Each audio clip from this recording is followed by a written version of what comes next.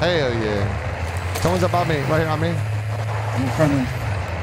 Oh! Triple backflip McTwist. He's going right to the Olympics, ladies and gentlemen. Little Billy does it again. Holy I've never seen anything like that before. Somebody call Elon Musk and get a satellite on that dirty little bot.